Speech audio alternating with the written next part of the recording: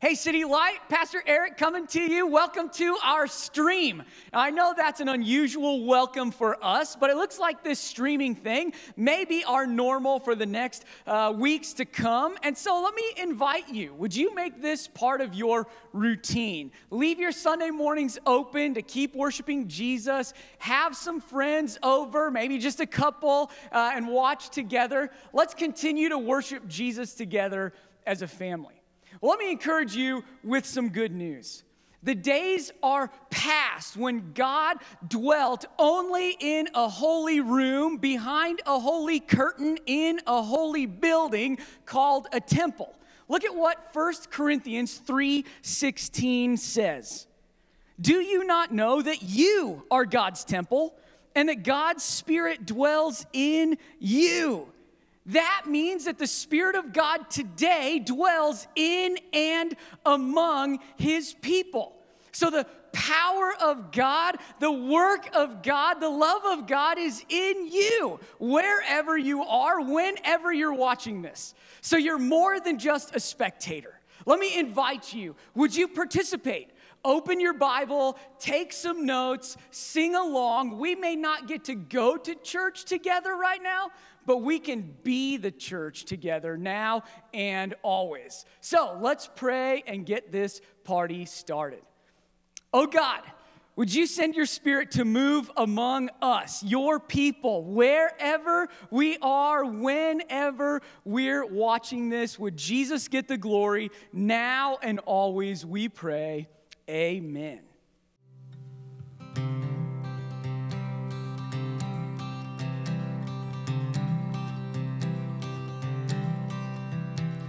In my wrestling and in my doubts, in my failures, you won't walk out. Your great love will lead me through. You are the peace in my troubled sea.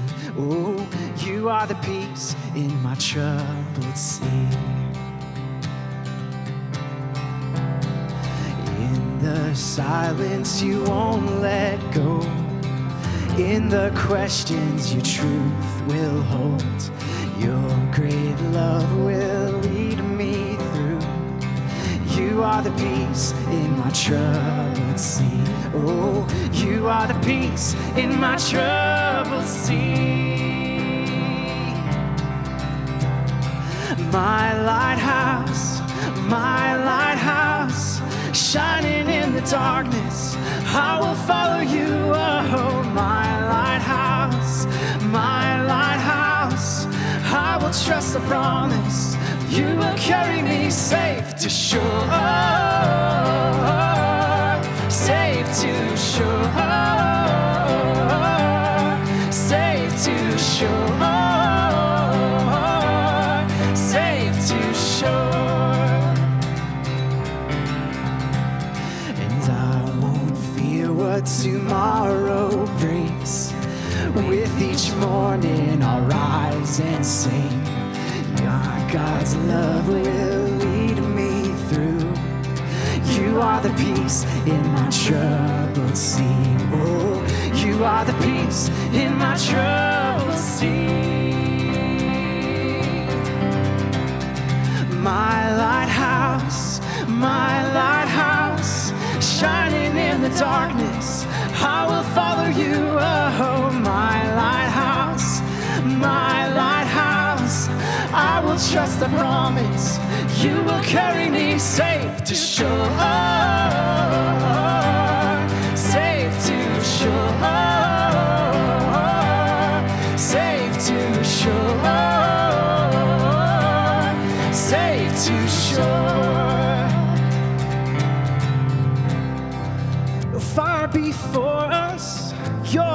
brightest.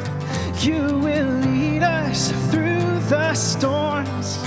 Far before us, you're the brightest. You will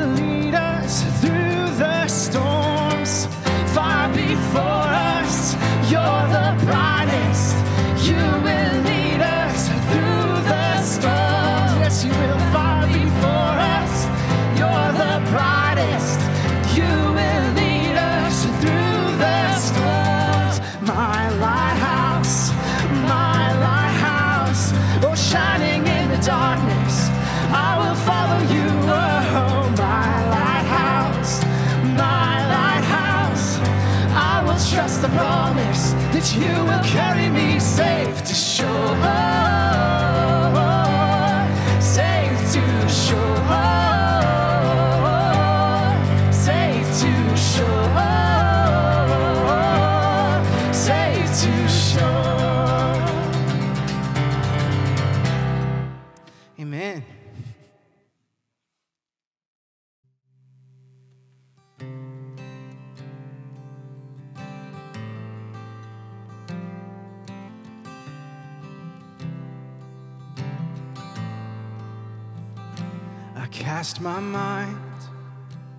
To Calvary, where Jesus bled and died for me. I see his wounds, his hands, his feet, my Savior on that cursed tree. His body bound and drenched in tears, they laid him down in Joseph's tomb, the entrance sealed by heavy stone. Messiah still and all alone.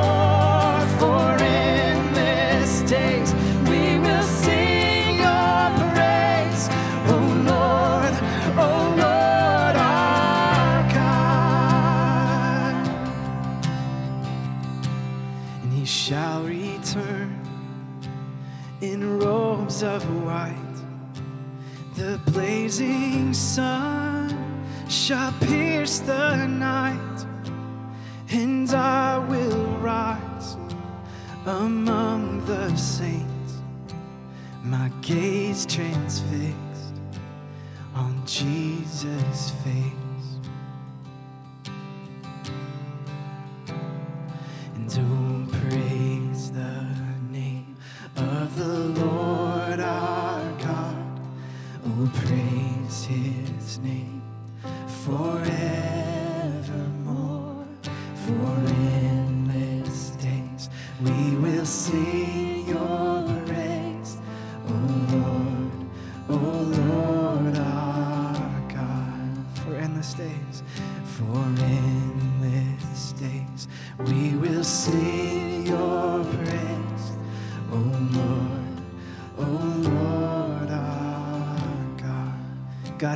Forward to the day when we sing your praises endlessly, when we glorify your name, when we stand before your face, when all sickness has been wiped away, when all fear is gone.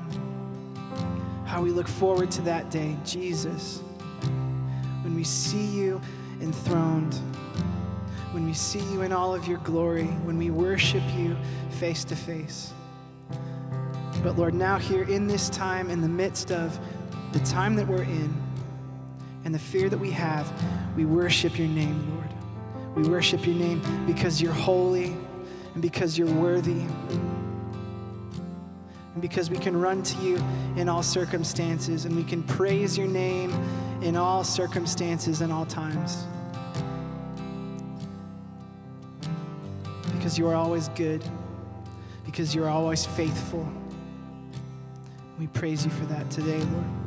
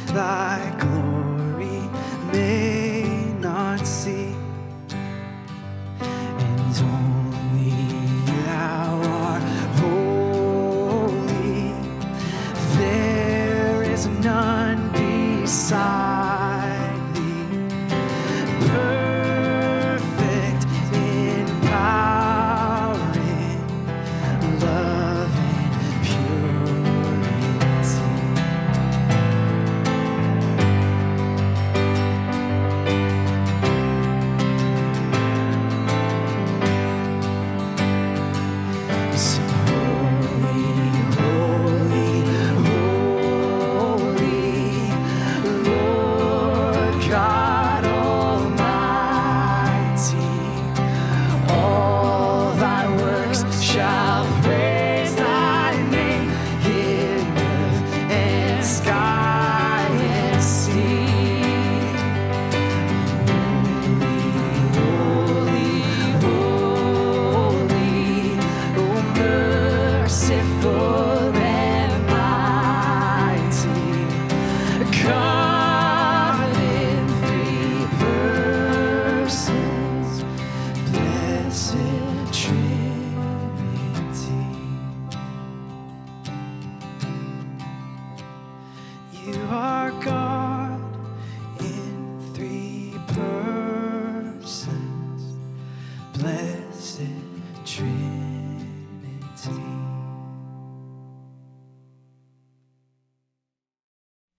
right, Citylight, let's read God's word together. I'll be reading from Matthew chapter 12, starting in verse 1. Matthew chapter 12, verse 1. At that time, Jesus went through the grain fields on the Sabbath. His disciples were hungry, and they began to pluck heads of grain to eat. But when the Pharisees saw it, they said to him, Look, your disciples are doing what is not lawful to do on the Sabbath. He said to them, have you not read what David did when he was hungry? And those who were with him? How he entered the house of God and ate the bread of the presence, which is not lawful for him to eat, nor for those who were with him, but only for the priests? Or have you not read in the law how on the Sabbath the priests in the temple profane the Sabbath and are guiltless? I tell you, something greater than the temple is here. And if you had known what this means, I desire mercy and not sacrifice, you would not have condemned the guiltless for the Son of Man is Lord of the Sabbath. He went on from there and entered their synagogue, and a man was there with a withered hand. And they asked him, Is it lawful to heal on the Sabbath? So that they might accuse him. He said to them, Which one of you who has a sheep, if it falls into a pit on the Sabbath, will not take hold of it and lift it out? Of how much more value is a man than a sheep? So it is lawful to do good on the Sabbath. Then he said to the man, Stretch out your hand. And the man stretched it out, and it was restored healthy like the other. This is the word of God. Doug, come on up. All right, let's pray, and then you can preach. Let's go. All right, would you pray with us? Awesome God, I thank you for your word today. Uh, Holy Spirit, would you move through your word? Would you speak to hearts, encourage your people as you always have? We ask in Jesus' name, amen. Amen. What's up, Citylight?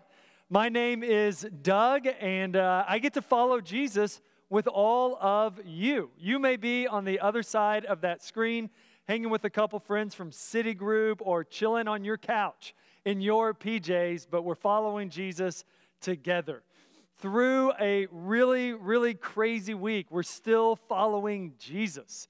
By serving our city and staying connected, we're following Jesus. Listen, the whole world might change and our circumstances around us might constantly change, but Jesus remains the same. Amen? Amen. Well, let me start with a question. Have you ever read the like children's book, If You Give a Mouse a Cookie? my family loves those books, and it's kind of all about like one seemingly innocent act and how it can lead to all sorts of crazy things happening. Like if you give a mouse a cookie, he's going to want a glass of milk. And if you give him the milk, then he's going to want a straw. And the next thing you know, he's in your living room drawing pictures, and he get, he's giving a moose a muffin and a cat a cupcake, and they're all doing a puppet show right there in your living room. So I hope you've learned your lessons, kids. Never give a mouse a cookie. Our family loves those books. We've chuckled through them many times. And they're actually a pretty good illustration for some of the main characters in our Bible passage today. They're called the Pharisees, these religious leaders who would build rules upon rules upon rules, all so that you, God forbid, will never give a mouse a cookie. Because if you start to give a mouse a cookie, one thing leads to the next that leads to the next, and before you know it, you're sinning and you're turning evil and you're stealing from your best friends and your family, and you're going to, well, that's not exactly what happened. That's not exactly what it was, but it was like that. And in Matthew chapter 12, Jesus interacts with these religious leaders and he highlights the failures of their religion. Jesus, in the best of ways, kind of blows up their religion. And you might be wondering, okay, what does that mean for me? Like, why should you tune in for the next few minutes and actually care about what Jesus says here? Well, I, I think at the end of the day, we all have some Pharisee inside of us. Whether you're the firstborn who like prides yourself on keeping all the others around you in line and following all the rules, or maybe you're like a rebel at heart and you throw the rules in the trash can where they belong. Wherever you are on that spectrum, there, we all have something inside of us that like wants to be good. We want to look good and be better at whatever it is we value. It's like that quote on the side of Lincoln's Pub in downtown Council Bluffs. We love that restaurant. It's actually Abraham Lincoln's quote Whatever you are, be a good one. It's saying, you know, whatever you value, just do good at that, be better at that. But the good news is that Jesus didn't actually come to make us better. Jesus didn't come to make us more gooder, if you will. No, Jesus didn't come to deliver rules upon rules. Jesus came to give us life. So, whatever you are, if you're worn out and exhausted, from trying to live up to your expectations. If you're weighed down by all the expectations and how you just wish everybody else would try harder, then Jesus' words are for us this morning. Let's pick it up in Matthew chapter 12, beginning in verse 1. It reads like this At that time, Jesus went through the grain fields on the Sabbath. His disciples were hungry, and they began to pluck heads of grain and to eat. Now, pause right there. There's, there's nothing wrong with that. Nothing terrible going on here. In fact, in the Bible, way back in Deuteronomy, God actually wrote a rule. He had a law that said if you go into your neighbor's standing grain, you may pluck the ears with your hand, but you shall not put a sickle to your neighbor's standing grain. It makes sense, right? If you're walking by, go ahead and grab a snack, but don't bring your combine and actually harvest all your neighbor's crops.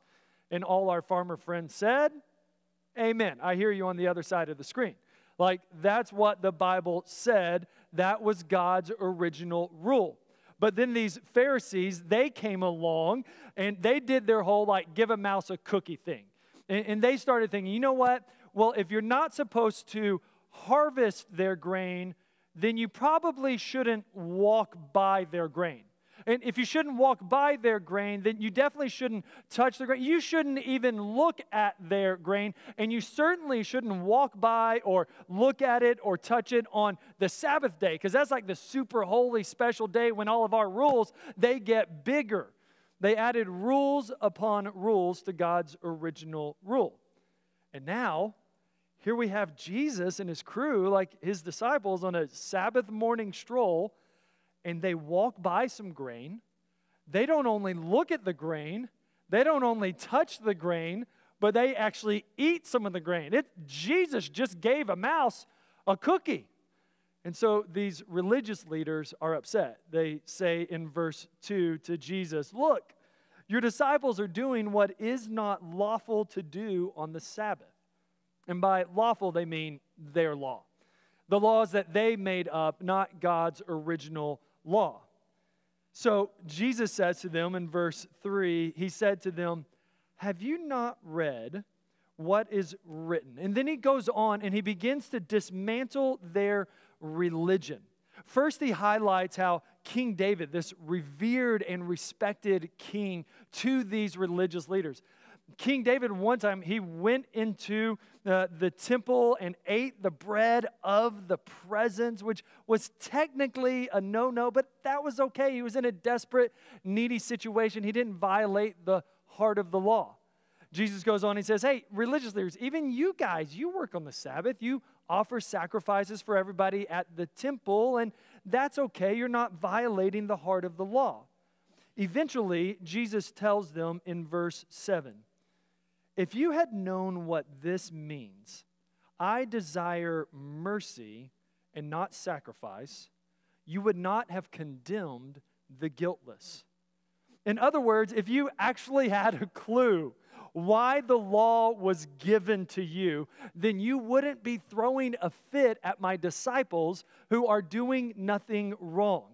If you had a shred of mercy in your bones, then you would set aside your religion police badge and maybe even enjoy a snack yourself. Do you want some? That's what Jesus is doing here, and it all adds up to this. This is where I think the rubber meets the road for you and for me religion, adding rules upon rules to God's original good rule. Religion misses the heart of God. Religion misses the heart of God. God didn't give us his law so that we would add a bunch of new laws to it. God didn't give these leaders his law so that they would turn into religious police. Here's my better Pharisee than you certificate. I got a gold star because I followed all the extra rules too. No, the law was given, the old school law, like Exodus, Leviticus, Ten Commandments sort of law, it was given so that Israel could know the heart of their God. But these Pharisees, when they would add rules upon rules to God's original rules, they missed the heart of God.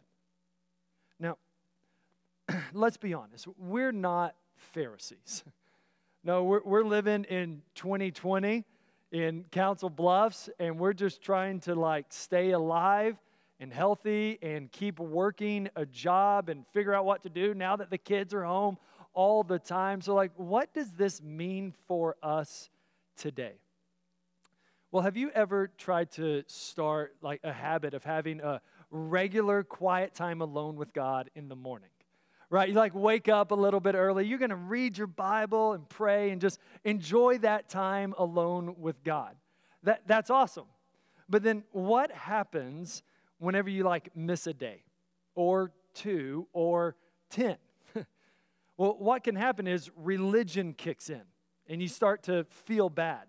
And then religion keeps on kicking, and you start to feel like guilty or feel dirty. And does God really love me? Like, can I feel his love for me? Because I don't know, he might be mad at me for missing 10 days in a row. Religion can cloud our thinking and actually keep us from God's heart of love for us. Or have you ever tried to break a sinful habit? Maybe you're just trying to get rid of your anger problem, or you're trying to stop yelling at your kids, or stop cussing around your coworkers, you know, whatever it is. And you're working hard at it, and it's going well for a few days, but ah, then you slip up, you mess up. What can happen then is religion can kick in. Here, here's what it might look like. Let's say we're trying really hard to not cuss around our coworkers, okay? And so we're like, okay, I'm not gonna cuss. And genuinely in our hearts, we want to show them Jesus. We want to love them well. And so we say, we're not gonna cuss. That goes well for a few days, but then all of a sudden we like mess up at work and we say a cuss word. And so we're like, okay, religion's gonna add rules to our original desire. And so we're like, okay, what I'm gonna do is I'm gonna wear a rubber band to work and I'm gonna smack myself a few times if I even just think a cuss word in my head. So we wear our rubber band and we smack ourselves a few times and it's going well for a few days and then, ah, we slip up again. We say a cuss word. So we're like, okay, I got to do more than just the rubber band. I'm going to wear my rubber band and smack myself, but I'm also, I just need to avoid these coworkers more. I'm just going to bring a book and read that in the break room. So we're wearing our rubber band to work. We're reading our book in the break room. It's going well for a few days, and then, oh, we give the mouse a cookie again. We slip up and say a cuss word. So now we're like, okay, I'm going to wear my rubber band to work. I'm going to read my book in the break room. And then we start to tell our coworkers just how terrible of human beings they are because they keep saying cuss words. And we turn around to all our Christian friends and say, hey, if our coworkers wouldn't say so many cuss words, then everything at work would be better. And then I wouldn't have to wear a rubber band to work. And then I wouldn't have to read a book in the break room. And maybe I could get an A plus on my Be a Good Christian report card at work. That's religion. And did you notice it, it, like all started with a genuine heart to know God and make God known at work, but it ended up with a blame everybody else set of rules upon rules. We've all done this. And to be honest, like we've all missed the heart of God. We can do it in the checkout line when we go grocery shopping, right? And you look over and somebody's got a ton of toilet paper, and you're like, well, they got a spirit of fear. You know what? They are not trusting God. They need to just get rid of their anxiety and start trusting God. Rules upon rules, we can miss the heart of God. We can do this with our kids. Oh my goodness, how could you possibly have behaved that way? You know what? You can't watch YouTube. Don't even get on the computer. Don't even go near the computer, and you better not even have a smile on your face. Rules upon rules, we can miss the heart of God. Religion takes us from receiving God's heart to missing God's heart. religion takes us from showing mercy to others to expecting sacrifice from others. So, can I just ask you, where is religion keeping you from the heart of God? Maybe it's in your spiritual disciplines. Oh, I don't read my Bible enough or pray enough. Maybe it's in your financial giving. Oh man, I forgot to give last week. Does God still love me? Maybe it's in church community. Oh, we were sick and so we missed city group. I mean, is that okay? Is God going to get upset with me? Where is religion keeping you from the heart of God? The first problem with religion is that it misses the heart of God. The second problem with religion we see in the next part of our passage. Look at Matthew 12, verse 9.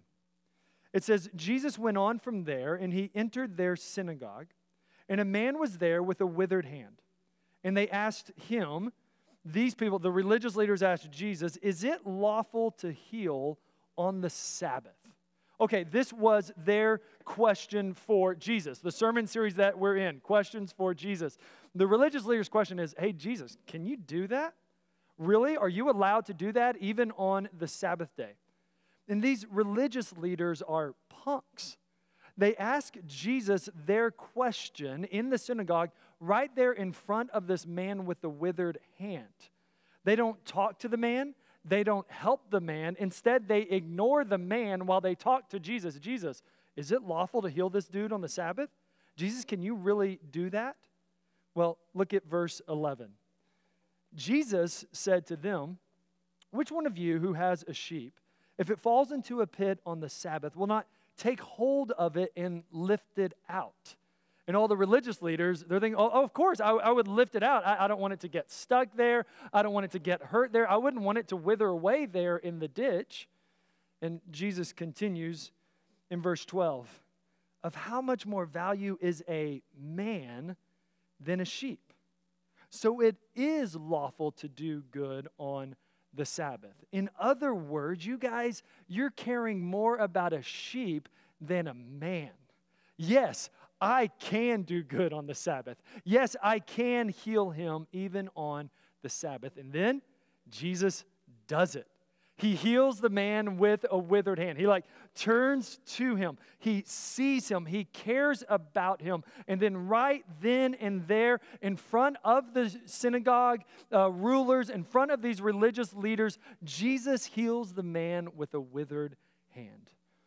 Here's the problem with religion that we see in this story religion misses people.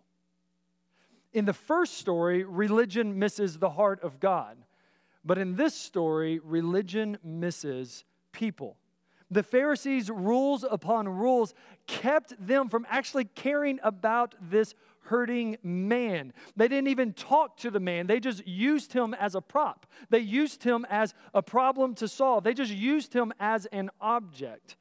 Religion misses people.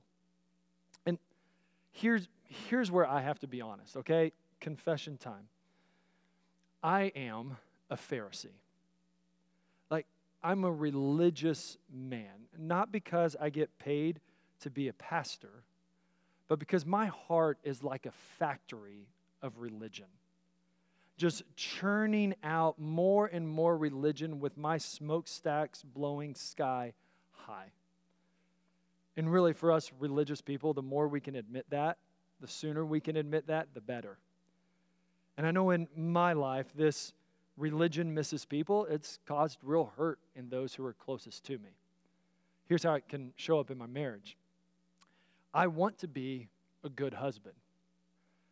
It's almost like my religion is being a good Christian husband. And, and so I'll read books about being a good Christian husband. I'll abide by good Christian husband rules. Uh, a good Christian husband, he provides for his family. Check. A good Christian husband, he talks to his wife. Check. A good Christian husband, he prays with his kids before bedtime. Check. A good Christian husband, he, he takes his wife on dates, except maybe in a global pandemic, but you get the idea. Check. I, I try to be a good Christian husband. Eh, I don't really mean to, but my factory of religion, my heart, keeps churning out these good Christian husband rules more and more and more until eventually I'm wrapped up in my own religion and distant from my wife. It's like all my attempts to actually be a good Christian husband ended up pushing me away from her. It's like my religion replaced my relationship with her. That's religion. And it's the same thing that we talked about earlier. You remember the person who wanted to stop cussing around their coworkers. You remember that all started with a like genuine desire to love coworkers and show them the love of Jesus. But then, as they built more and more rules, it ended up distancing them from their coworkers to where eventually they blamed it all on their coworkers and avoided them. Religion misses people. Religion can even hurt people. So, what's the solution, right? Like, how do we change? What's the solution to resist religion? Whether you've been a Christian for five decades or for five days, you've probably felt this religion struggle. Religion exhausts us and we miss the heart of God. Religion wears us out and we begin to miss people. So, how do we resist religion? What's the solution? I think Jesus gives us the solution in Matthew chapter 12 verse 8. As Jesus is rebuking these Pharisees for their goofy Sabbath day laws, he says something about himself. Look at verse 8. For the Son of Man, that's Jesus, okay? Jesus says, the Son of Man himself is Lord of the Sabbath. Here, Jesus is strategically and intentionally inserting himself back into the center over the Sabbath. The Son of Man is Lord of the Sabbath. The Pharisees had built rules upon rules upon rules to where eventually their rules were the Lord over Sabbath. Their rules ruled them, their rules ruled everyone else. But here in verse 8, Jesus just blew up their rules. Have you ever watched one of those videos of like an old football stadium or office building being safely exploded. It's like an old concrete fortress where thousands of people used to go watch a game or they used to go there and do their work. And they'll make these videos where they get from a safe distance and they like explode, implode the building. And you can watch the concrete fortress fall. This is what Jesus just did with these Pharisees' religion. He blows up the concrete fortress of religion, and as all the rubble crashes down to the ground, and as all the dust settles, we find Jesus there in the center, standing strong, standing tall sorry, Erick, standing brave. And he says, I am the Lord of the Sabbath. So, what's the solution to religion? It's the lordship of Jesus. How do we resist religion? By submitting to the lordship of Jesus. Notice that the solution isn't to like throw out all rules and just live however you feel like living. Just follow your heart, and if it works for you, then go for it. The solution isn't anything goes, everything's okay, it's all about you living. No, the solution to religion is submitting to the lordship of Jesus. That means listening to Jesus, following Jesus, obeying Jesus. And maybe Jesus said it best himself in Matthew 11, verse 29 Take my yoke upon you and learn from me we yoke up with Jesus. He's the bigger, stronger ox, and we go into the other side of the yoke, and He leads us, directs us, guides us, steers us, commands us. We're yoked up with Him, becoming more and more like Him. His words become our life. His heartbeat sets our pulse. His passions become our purpose. When He says go, we go. When He says stay, we stay. It's the lordship of Jesus. Now, if we're submitting to the lordship of Jesus and resisting these religious rules, then should we still have a quiet time alone with God? Sure. But we do it because we're yoked up with Jesus and we want to know his heart and connect with him, not just check a religious box. If we're submitting to the lordship of Jesus and resisting religious rules, then can I still be a good Christian husband? Yeah, but I do it because I'm yoked up with Jesus and his love inside me fuels my love for Whitney to know her and see her and delight in her. And if we're submitting to the lordship of Jesus and resisting religious rules, then should we stop cussing around our coworkers? Absolutely, but the power to change doesn't come from smacking ourselves with rubber bands or reading a book in the break room. The power to change comes from yoking up with Jesus, learning from Him, His heart inside us, beating through us. That gives us the power to change. And maybe the million dollar question at the end of the day that matters most if we're submitting to the lordship of Jesus and resisting religious rules will we still mess up? Like, will we still sometimes give the mouse a cookie? Yeah, we will. But the good news is that the lordship of Jesus is radically different from the tyranny of religion. When we mess up, when we sin, when we fail and fall down, slip up and mess up, how does Jesus respond as our Lord? What is his lordship like? Well, I think Matthew answers that for us in chapter 12. When Jesus is your Lord, he will serve you. Verse 18 Behold, my servant whom I have chosen. Jesus is the servant of God, which means he's going to make a great Lord to you. He's a humble Lord. Verse 19 when Jesus is your Lord, he won't yell at you or fight you. Verse 19 says, He will not quarrel or cry aloud, nor will anyone hear his voice in the streets. In other words, Jesus doesn't throw fits or threaten you to try to get you to change. He is a gentle Lord. Furthermore, when Jesus is your Lord, he won't kick you while you're down. Verse 20 A bruised reed he will not break, and a smoldering wick he will not quench. Even when religion left you bruised and without breath, Jesus isn't going to come along and kick you while you're down. He is a patient Lord. And finally, when Jesus is your Lord, he gives you hope. Verse 21 And in his name the Gentiles will hope. Because Jesus went all the way for you and paid the price for you and even died on the cross for you. You can have hope as you're making changes in your life. You can have hope that you will actually be different. You can have hope not because you're coming up with more rules to keep the cookie away from the mouse, but you can have hope because your Lord, Master, Boss, Commander, King, Leader, He also died for you and when he died for you, he paid the ultimate price for all of your mess ups and your slip ups, your fall downs and your failures, your mistakes, your sins, all of it, past, present, and future. Your Lord is the kind of Lord who dies for you. That's the lordship of Jesus.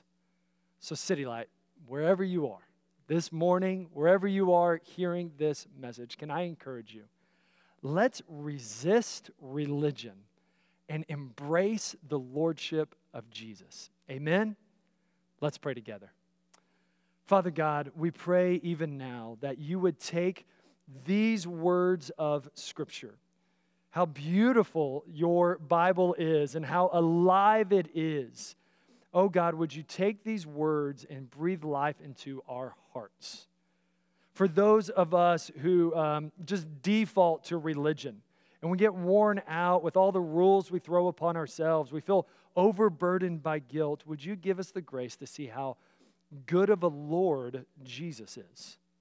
That his lordship is kind and gracious and gentle and patient. May we run into the yoke and say, Jesus, I'm yoking up with you. You're better than all these rules, all these regulations and expectations. And Father, for those who would say, you know what, I'm not really the religious type, I don't care about rules, I throw them to the wind. Oh, would you show them how good Jesus is? And may they too run into the yoke and say, Jesus, I'm yoking up with you. You are better. Lead me, guide me, direct me, steer me, command me. I want your lordship to give me life. Jesus, draw us closer to you. Let us learn from you, even in these times. Even this week, let us learn from you and find that you are gentle and lowly, that you are gracious and kind. We trust you. In Jesus' good name, amen.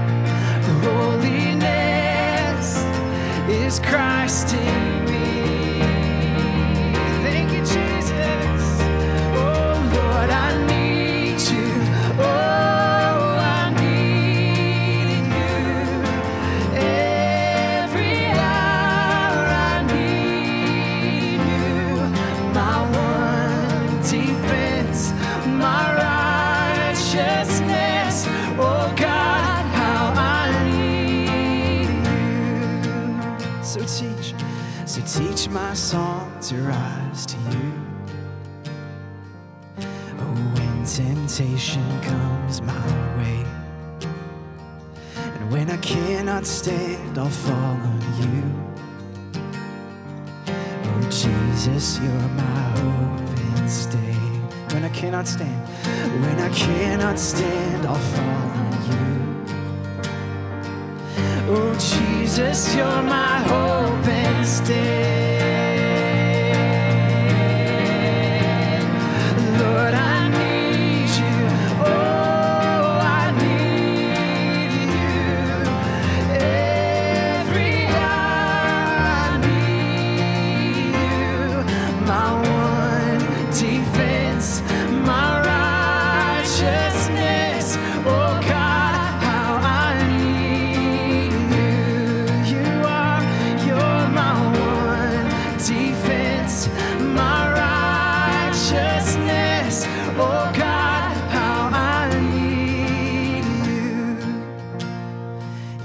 my one defense.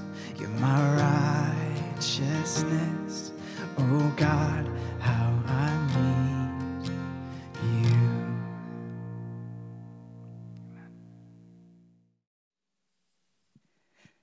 Hey, thank you, Doug. Man, I, I loved uh, how you took a passage. I read a passage like this in Matthew, and sometimes I just struggle to find my place in it. I think, man, those Pharisees were terrible people, and I'm so much better than them.